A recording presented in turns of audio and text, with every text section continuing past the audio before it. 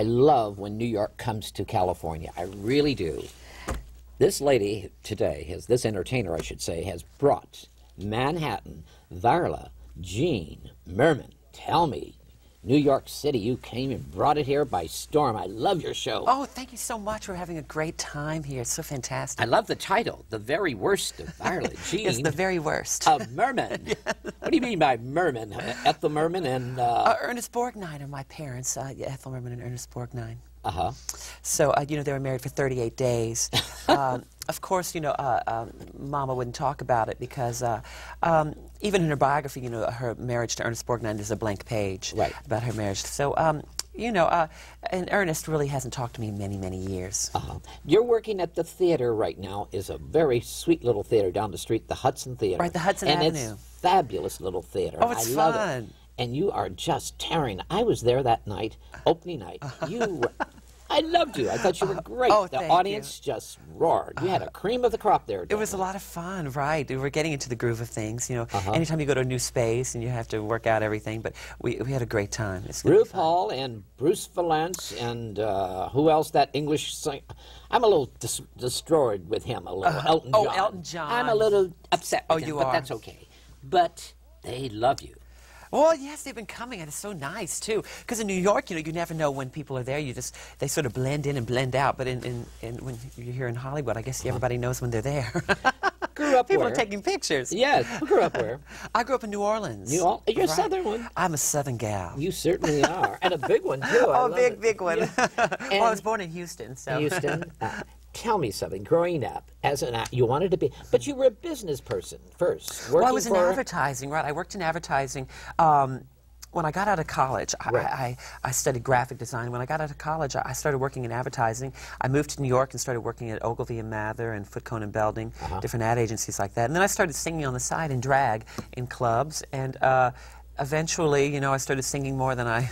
Did you ever do it? New Orleans? graphic Did you do it drag in New Orleans when you were working? I did, and everybody does drag in New Orleans. Everybody, and so there was no any, there was no you know stigma attached to it, and everybody had fun. And you, know, um, and it was just part of the holidays. I mean, you know, Mardi Gras or any holiday, anybody's birthday party. Right. But then I started doing it non-holidays. and that's when it happened. That's when it happened. You I started enjoying it a little bit more than everyone else. But you sing. You did you study voice? Now tell me. You know, I sang a little bit in high school, and then I sang in college. But Uh-huh. I used to just mess around with the falsetto and the really high things, and and then after a while, when I started having to sing it every day, I had to Right. you know study to make sure that I could do it every day.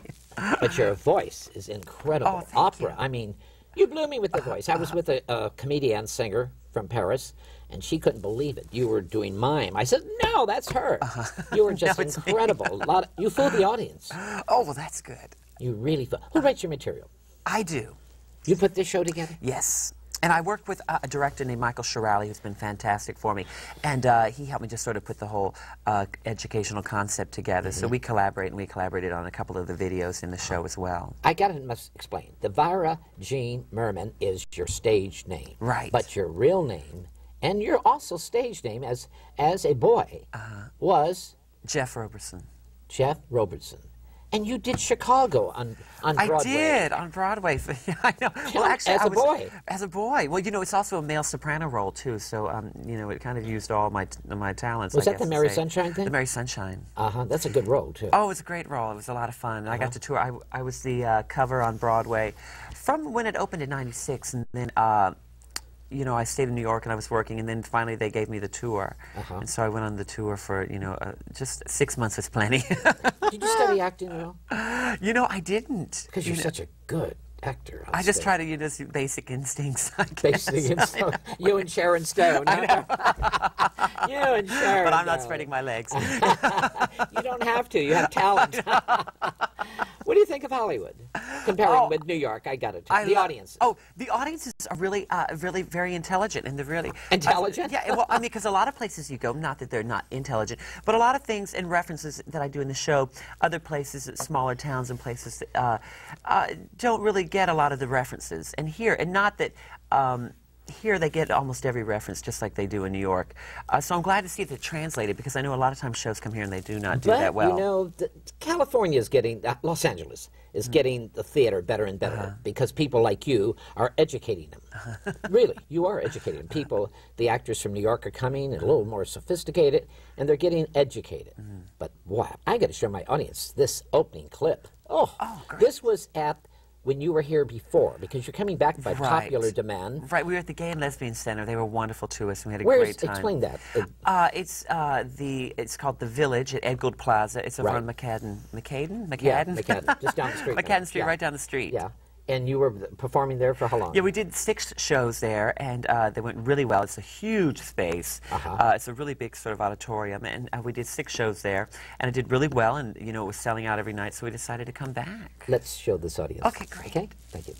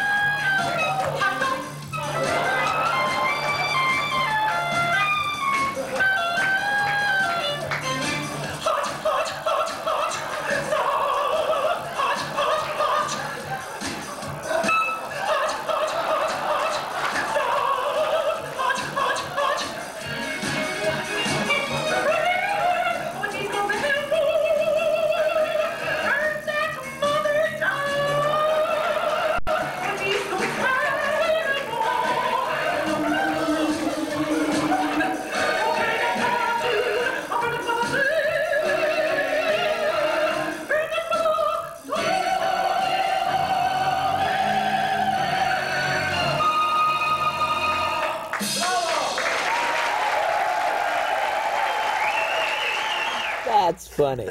the very worst of that is not the very worst. That is the funniest. Tell me that clarinet, boy, you really blow that. Well, I haven't actually played since sixth grade, so that was the first Oh, time. really? But I knew I could just pick it up in a couple weeks. What do you mean by the very? You were watching The very television. No, I know that, but you were watching television, and you got your ideas from the bad television. Is that the idea? Tell Well, me. this is uh, from the Schoolhouse Rock I talked about in the show, which was you know on, on television when I was growing up, and it was really. Um, uh, you know, it's, it's sort of uh, kids' education, but also in funny songs. So that's the whole thing about the show. Uh-huh, But the whole the concept of the show is that uh, I am trying to teach these lessons so that the very bad days in your lives will never Right. Uh-huh. be as bad as the very worst of Varla Jean You have a great sense of humor, it seems. to Oh, me. thank you. Because the way you are just carrying Growing up where I did. I love the way you decorated that piano. oh, thank you. Little mules. Feather mules. it cracked me up. And we had to lift that piano too. Uh-huh. You know, we had to lift it from one place to another. Oh my gosh, moving pianos as well as singing and dancing. Uh-huh. And singing and dancing. You studied, you say, later on, uh, singing. I did. I studied a little bit when I was at LSU. Uh, but LSU, uh, Louisiana State University, which is in Baton Rouge, but uh, it's more of a drinking school. I mean, people die every year from drinking at Right, this right. school. So I studied a little bit there. But when I got to New York, I studied with uh, uh, a, a few people, uh, but also oh, Ira Siff. I don't know if you know who that No, is. no. With LeGrand Shana, they are uh, sort of a, an operatic. Uh, they're an opera company, and they're all men. Is there the something roles. in your body right now? I'm looking at you. Wanted to really be a diva, really a diva opera singer? Well, when I because was you're a great singer. Oh, thank you. Well, when I was young, my you know we lived uh, in small towns in Louisiana, and my parents would always have like Dolly Parton records or um, um, the guy who sang Ron- Glenn Campbell records. And I remember the first time going to a garage sale and seeing the cover of a box set of records for um, Maria Callas, and it was for Lucia di Lammermoor, and she had the pearls around her neck, and she was looking to the side. And I remember being obsessed with it and begging my mother to buy it for me. It was like a quarter, and she wouldn't buy it for me, so I would take it home and just play and play it. And, and so my taste, and then I got a Joan Sutherland record. So they had no idea. So you know, that's where that I boy- know. It's, you- you know- it's really it's, it's nature, not nurture. But I'll tell you something, because you're a man. Mm-hmm. You know, I'm looking at you, talking to you, but people really, when you're singing that high notes, that, those are high notes for a man. they are. You know, there used to be a club in Boston, a gay club, and this drag queen used to sing these high notes, Uh-huh. and people used to get a standing ovation. At that time in the 50s, because she hit those high, screaming, Yma Sumac-ish notes. Right. You know, from a man. Uh-huh. That's incredible. Fun working around LA. Is it fun for you? oh, it's fantastic. And What kind of an audiences are you getting? A lot of good celebrities coming to see you? Oh, or- we are. You know, I try not to ever get to know. No, this week, I'd, I'd rather not know till after the show. And, you know, this week it's been really, uh, you know, just getting the show up. It's been a lot of work. But the great thing about uh, being in LA is the all the because I use a lot of video in the show. Right. So I just actually filmed a video this weekend as well as doing the show. We filmed something. Uh, so there's so many great landmarks here. You so- enjoy uh, doing videos, don't you? Oh, that's really. I mean, I love doing that. Once you do it, it's done, and you put it in the can, and it's done. and, you, and you show it during your shows. That's, Right, which many is so good. videos, right. Uh, It's really a lot of fun. Bruce Vilanch, does he write any of your stuff at all? No, he doesn't. No, but I, I love his stuff. He's hilarious. He loves you. He Well, he came to see me in Provincetown, and then you know um, he introduced me here when we were at the Gay and Lesbian Center. Charles Busch, good Charles friends? Busch, fantastic. Yes, I've worked with him many times. We just did Cage together. Uh, Uh-huh. You know, What's uh, that? Uh, Uh, Cage was a movie in the '40s uh, with Eleanor Parker. Of course, of course. And we did a reading of it in New York, Oh, okay. uh, where I played the Eleanor Parker role, and Joan Rivers was in it, and Isabella Rossellini, and Lily Tomlin. Must have been fun. Oh, it was fantastic. Where was And this at it New was York? at Town Hall. Uh-huh. And Charles Busch played uh, the the warden. Uh-huh. But we actually, Charles and I did uh, The Miracle Worker together, which was hilarious. I was Helen Keller. He's got a show right now on Broadway. Oh, I know. The Tale of the Allergist's Wife. It's fantastic. Yeah. Is that what you like to do? Would you like to do a show on Broadway? Uh, I would love to, but I, I think Charles Busch is such a great uh, role model for me too, because not only is he such a talented actor, but an amazing writer too, and He is. and I really want to try to uh, make the move into writing for more for other people as well. Uh-huh. Is that your uh, Charles Busch you look up to? Oh, I really do, and he's such a wonderful guy. Lip syncer? How about lip? Is that the name, lip syncer? Lypsinka, right. Yeah. We've worked together many times too. Uh-huh. Um, we did uh, Harriet Craig together, right? Yes. Which was really funny. And, and he was a- actually also in, in Cage, so we've done a lot of stuff together as well. Uh-huh. How long are you in town for now? I'm here till tax day, April 15th. Oh, re- April Yes, 15th? I know. I got here on the Ides of March, and I'm leaving on tax day. I think you're getting a little great reviews here. Oh, it's at, been really nice. At the yes. uh, Hudson Theater. Uh, I'm telling you, you're doing great here. it's great. The reviews, the reviews are fantastic. Very all over. nice, thank God. And uh, LA Weekly, God, pick of the week. Oh, isn't that nice? Everybody's loving you here. And that's a tough one, LA Weekly, believe me. Oh, really? Yes, it's a tough, tough one.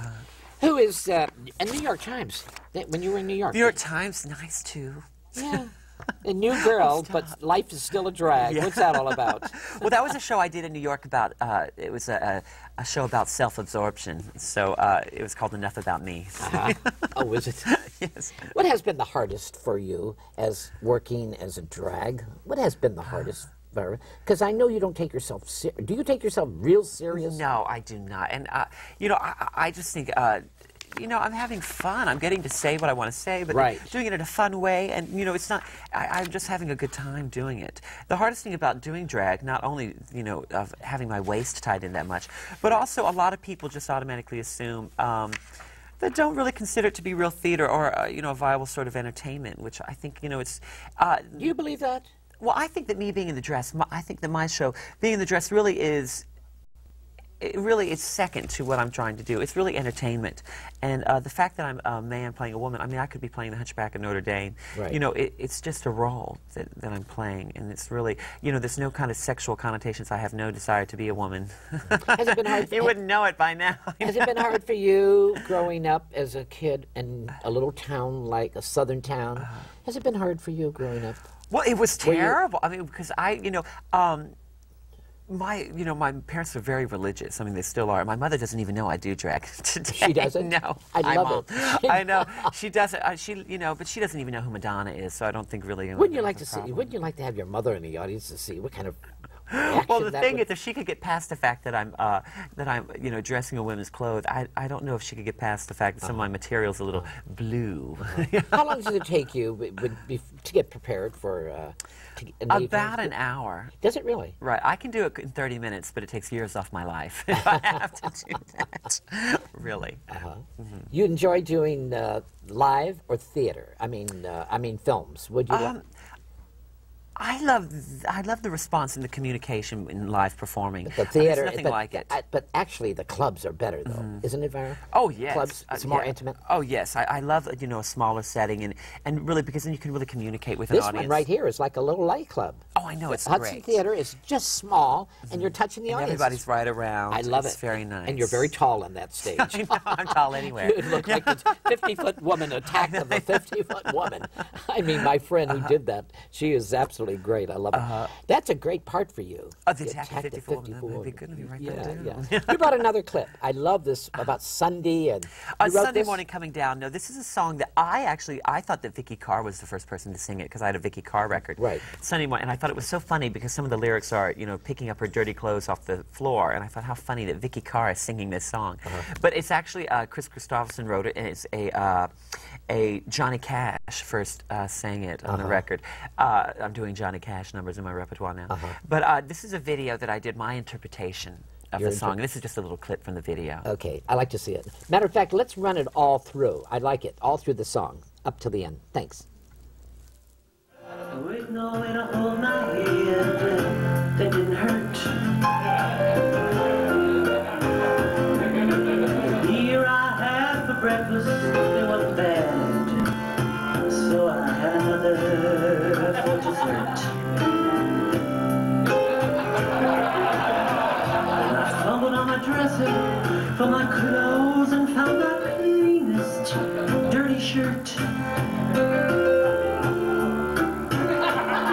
And then I brushed my teeth and took a bath. And stumbled down the stairs with the day.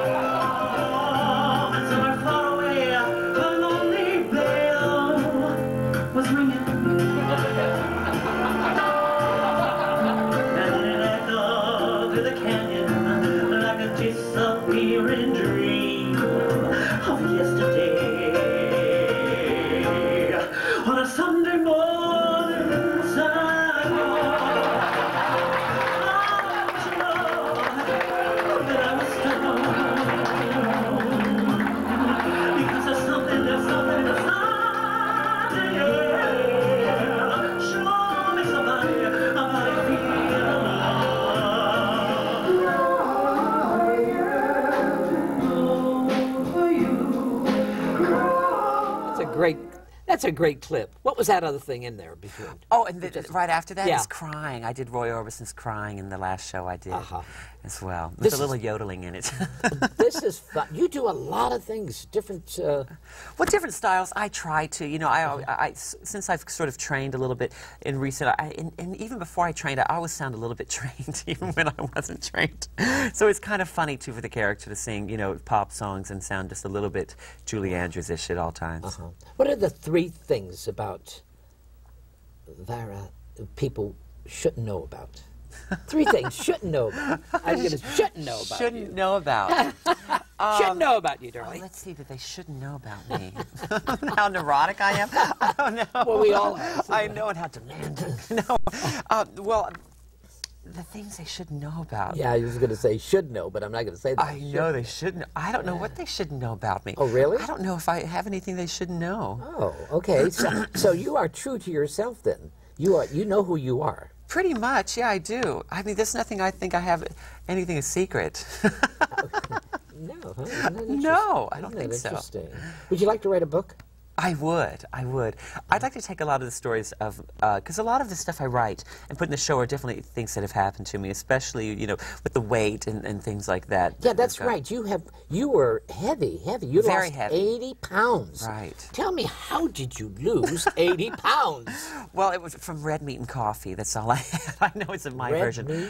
Red. I, it's a version of the Zone or the, the Atkins diet I that I developed myself. meat at you know? all. No, no. I just ate meat and coffee. That's all I had, and it worked. Coffee? It does work. I swear it did work. I mean, vegetables too. But um, I was working on a modern dance piece with somebody named Mark Dendy, who's a choreographer in New Right. York. And we were going to do this modern dance piece, and we did it a few nights, and then they were going to run it off Broadway. And I had to dance and sing and move and in drag, and I thought, I cannot do this for a run. So I decided to lose the weight, and then the, uh, they didn't get the funding for the piece, but I kept the weight off. I didn't gain it back. But vegetables you did put in there. yeah, a couple here and there. Everybody personates Bette Davis. Why do the drags always get a kick out of Baby Jane-ish type of things? Um, Joan Crawford's Bette Davis. well, it's strong women with personalities. Strong women, you know, right. strong women, and you know that uh, you know, and the stories about them and everything. But they're strong women. They Judy said what they Garland. thought, right? You know, and not necessarily. I don't Tragedies, know how strong tragedy yeah, things tragic, in their life. right? And the, you know, even my stuff, uh, everything, um, like all the videos and things that I do, and a lot of the humor I've done before, it's sort of based in tragedy in sort of a weird way, but it's, it's supposed to be irony of the tragedy. Uh-huh. Um, but uh, you know, Judy Garland. I mean, besides her being so talented, you know, uh, you know, sometimes a lot of I think people root for the underdog too a lot. So you know, she was definitely an underdog, even though she was so talented. Who was your favorite drag act as as a young kid growing? But you didn't have a dra- favorite act See, because you didn't, didn't see. you didn't know because in this small little southern town. I didn't know any drag. Until My mother loved. Flip Wilson. that was the only drag we ever saw. Uh-huh. You know, so I didn't know any. I remember being in college and remember um, uh, doing advertising uh, projects and cutting Lypsinka's picture out of um, out of a magazine and using her on a cereal box. I mean, that was really my first. Uh-huh. Charles brush. Pierce, you never heard of. I, I knew Charles Titanic, Pierce. all these Well, great- Charles Pierce, I, I didn't really know of till till later, and what a genius performer he was. was. Oh, fantastic entertainer, Great. and uh, there's so much to learn from him too. But I never really, I, I just have seen clips of him, but amazing. Uh-huh. Yeah. you know the whole Mae West and oh. Do you do a Mae West type, a Judy Garland type? You know, I am terrible at impersonations. I cannot do any. you don't have to. You don't have to. Anytime I try to, it just sounds terrible. They all sound like no Jean matter who they are. Merriman doesn't have to. You are real live what you are. You are a definite style of your own. I've seen drags from from Paris to England to Australia, the best. But you you knocked me out here Oh, great. last Thank week. I'm so telling you, I was knocked out by you because you are what 2001 is right Mm-hmm. now. You're bringing something very, very special to the theater of introducing a man on drag. Mm-hmm. And as an entertainer, you're an entertainer, not just a drag act. It makes me forget about that. Mm-hmm. Well, thank you. Because you're funny and you're doing things Right, I really find the drag is second. I mean, I love the look and to do it all and all of that, but really, it's it's you know the humor that I, I, I The enjoy audiences more are the writing. mixed It's not all gay. Oh, I know. I it's can't a believe mixed it. audience. I've seen couples. Why can't you believe it? no, it's just so funny because in New York, a lot of times you are very sheltered in New York, and it's very there's so much going on in New York that people are very they they like this, you know, they, and they only watch that, and and so sometimes it's hard to cross over. But when I've performed uh, in different cities, across, and especially here at the center, we uh, you know it's crazy the, the, the cross section of audience we get. What would you, would you like to see yourself, say, five years from now? Where would you like to see yourself? Well, I definitely want to write more. I want to write for the people, and Really? I, I want to. you said to. that twice tonight. I know. Also, I want to be able to do the video and film work that I, I do now, but with a budget. Oh, the- because now we have a camera and it's like guerrilla filming, and we go in Uh-huh. and we film where we need to film without asking, you know, and then we just run out Who was that big fat divine? Divine, Yeah, right? You you're not a divine. You're but you're um, No, but I definitely was inspired by Divine and, and inspired by John Waters. I mean, Waters. yeah, Have right. he seen you work? You know, I have run into a million times, but I don't know if he's ever seen me perform. I'm surprised he hasn't because But you know what? He does not. I, and so I hear. You know, at one time I was in, in uh, the, at the Cannes Film Festival with a film, and he, we picked him up on the side. Of, he was hitchhiking after a party for his Pink Flamingos. Pink Flamingos was re-released that year. He was hitchhiking on the street. We picked up John Waters. I'm sitting in full drag, but he never acknowledged that I was in drag or even said anything. And not that he needs to, but I hear that he's very. He doesn't ever want to work with drag again. He thought that Divine was, you know. Um, you know it, and that you know he doesn't want to. He's done drag now, and he's can't moved see on. beyond be, uh, beyond divine. And Divine was fantastic, and what uh, you know paved well, the way she was for so many okay. things. She was not fan. No, I, uh, I, But you know, I find fantastic She was okay. because She was fun. I, never saw him perform. I just Yeah. seen the film work, and I just I think that- think you're fantastic. Oh, I think thank see you. you're true true what you're doing. Mm-hmm. Divine was campy, and I use the word campy. But you know. he's the one that really started this sort of shock value, and uh, really got that. And sort of shock is now out of the way. eating merd on a camera. that wasn't shock for me, honey. I walked out of the But it's so funny because shock drag really, you know, really brought drag into um, into so many places. I mean, it really started drag, I think, as you know, this crazy, the over the top drag, Uh-huh. and then now I think that it's sort of subsided where people think, you know, okay, now. It's not shock. It's really okay. You can Yeah. dress as a woman. You can do this. What are you going to do with it? And people have to entertain now. I think it's just it's I think, now it's entertainment. I think the drag is very acceptable today. People do accept Mm-hmm. Oh, very it more much so. than when you were a little kid. Oh, definitely. Even in the last, you know, when uh, RuPaul, before RuPaul, even so Right, much, it right, wasn't. right. And then sort of it got so hot that now people were sort of tired of it. So I still think that it just, if you're not entertaining in it, it, it Uh-huh. just the look and being in women's clothes isn't going to pull it off anymore. The very worst of Violet Jean Merman. You are just wonderful, and it was great chatting with you this Thank you so morning. and. I think you are. They're saying genius here too. Look at this, New York Times. Oh, did New they? Time out. Uh, yeah, New York. hysterically funny, baby. You are, and you are funny. you are Oh, great, truly you. funny, and everyone should see you. Show business. Look at this, glitz. Backstage, you have great reviews. It's nice. Myra, where did this name come from? Well, of, of course, uh, Merman from Ethel Merman, because I knew that Ethel Merman and Ernest Borgnine were married.